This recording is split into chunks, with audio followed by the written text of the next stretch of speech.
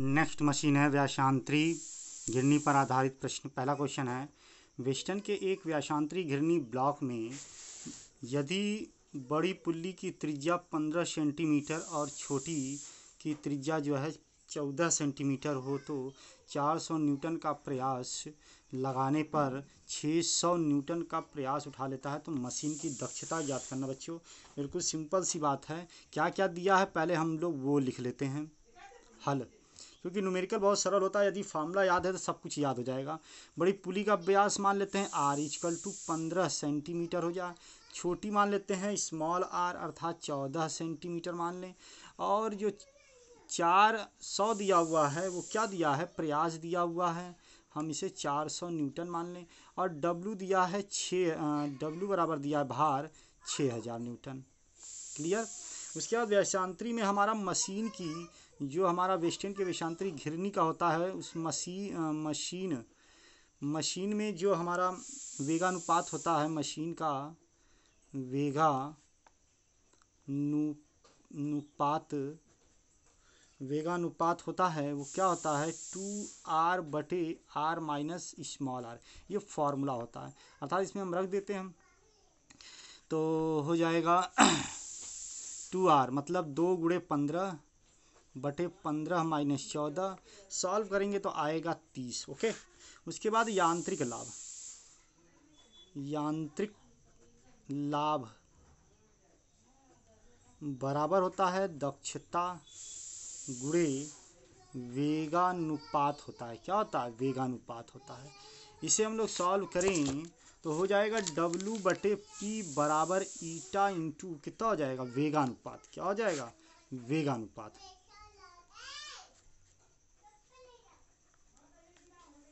और मुझे क्या निकालना है? ईटा निकालना है। क्या निकालना है? ईटा, अर्थात दक्षता निकालना है।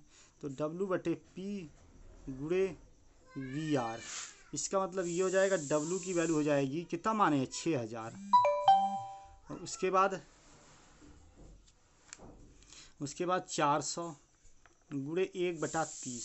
सॉल्व कर लेंगे तो आ जाएगा पचास प्रतिशत आ जाएगा। आप सॉल्व करके देख सकते हैं। इसमें कोई दो नहीं है, यही हमारा क्या है? आंसर है। नेक्स्ट क्वेश्चन की ओर देखते हैं। नेक्स्ट क्वेश्चन दिया हुआ है, एक वेस्टर्न घिरनी मशीन की दक्षता, इस बार दक्षता दे रखी है और बड़ी पुल्ली और तथा छोटी पुल्ली की त्रिज्या क्रमशः अनुपात दे रखा है इस बार। बड़ी और छोटी का, चार अनुपात तीन है।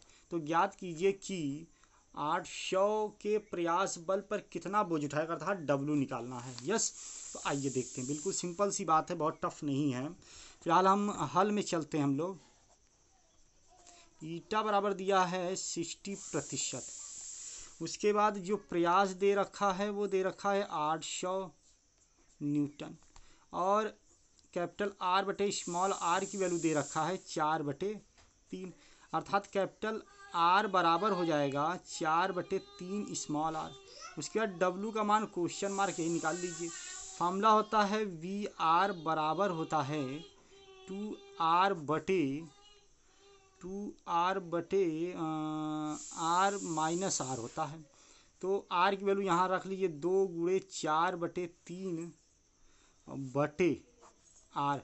यहाँ हो जाएगा चार बटे तीन आर माइनस आर। थोड़ा सॉल्व कर लें, आर कमन हो जाएगा तो आठ बटे तीन बटा हो जाएगा। चार माइनस तीन बटा तीन, ये तीन से तीन कट जाएगा तो आठ आ जाएगा। क्या आ जाएगा? आठ आ जाएगा। तो वी आर की वैल्यू क्या हो जाएगी? आठ आ जाएगी। बट हमें निकालना क्या है? बोझ। बोझ निकालना है। तो ईटा बराबर हो जाता है एम ए बटे वी आर तो ईटा बराबर हो जाएगा डब्लू बटे पी इंटू वी आर यहाँ से हम डब्लू बराबर लिख सकते हैं eta into P into V R ठीक, उसके बाद देखिए बच्चों उसके बाद डब्लू की बराबर हम वैल्यू रख दें तो आ जाएगा, देखो बच्चों ईटा साठ है तो इसका हो जाएगा छः। छः गुड़े पी पी की वैल्यू हो जाएगी कितना? पी की वैल्यू दिया है आठ। और गुड़े वी आर की वैल्यू कितना दिया है? आठ। इसे थोड़ा सॉल्व कर लें क्या कर लें? सॉल्व कर लें तो आपको भी मालूम चल जाएगा कि कितनी वैल्यू आएगी। यस आएगा वैल्यू साठ प्रतिशत का तो ज़ीरो पॉइंट सिक्स आएगा। उसका सॉल्व कर लें हम लोग। थोड़ी सी गलती हो गई थी। तो ये पूरा जब मल्टीप्लाई करेंगे, तीन, आठ, चार ज़ीरो यही आएगा आपका न्यूटन डब्ल्यू बराबर। ये हमारा क्या हो जाएगा? आंसर हो जाएगा बच्चों। क्लियर ये हमारा क्या हो जाएगा आंसर?